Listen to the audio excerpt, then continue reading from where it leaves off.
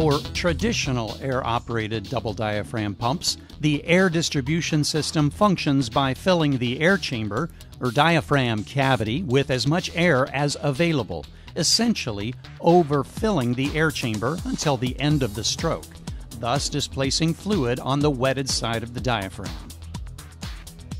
Once the shaft and diaphragms have reached the end of their stroke, a mechanical mechanism triggers the end of the stroke, finally shutting off the air supply to that air chamber, signaling the air valve to shift and dump any excess air left in the filling air chamber.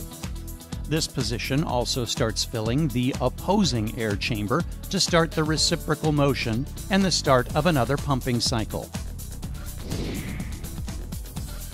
Pro-Flo Shift technology is designed to maximize efficiency by minimizing air consumption.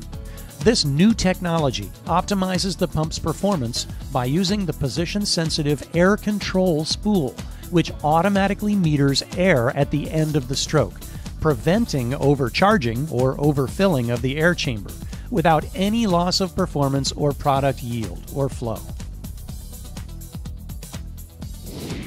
Pro-Flo Shift's automated technology results in significant air savings over conventional and advanced AODDP technologies.